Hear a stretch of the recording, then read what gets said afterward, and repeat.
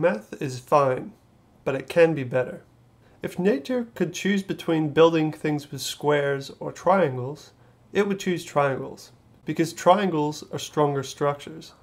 When we take a square and a triangle and apply forces to them, a square will slant and buckle, but a triangle will hold strong. And that's why we use triangles to build bridges. The triangle is the most basic shape. Three sides and three corners. We see three and multiples of three popping up in nature all the time. Let's look at something as simple as a circle, for example. If we want to pack a bunch of circles together in the most efficient way possible, we would do it like this. One in the middle, surrounded by six. You couldn't pack them closer if you wanted to. This is how a grocer would pack oranges. Now if we connect the center of the circle with straight lines, we see a hexagonal pattern emerge. And this pattern is used by nature in beehives. It's the most efficient way to use space. Nature wants to talk in threes. Now when we look at our math system today, we use something called the decimal system. The decimal system is groupings of 10.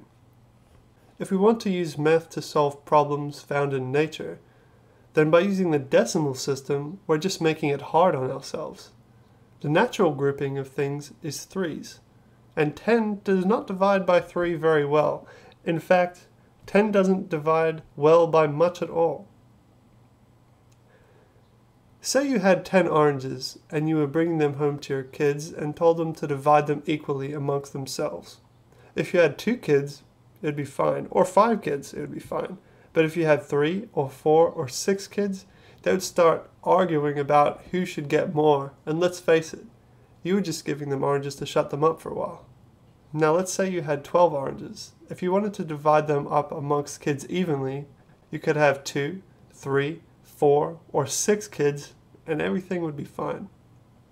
Using 12 as a grouping order is better, and this system is called the dozenal system. It makes everyday maths easier and makes arithmetic a more enjoyable learning experience. 12 and 3 are best friends. The decimal system and the world we live in are not. Start counting in 12s. A counting system based on threes makes life easier. Don't you agree?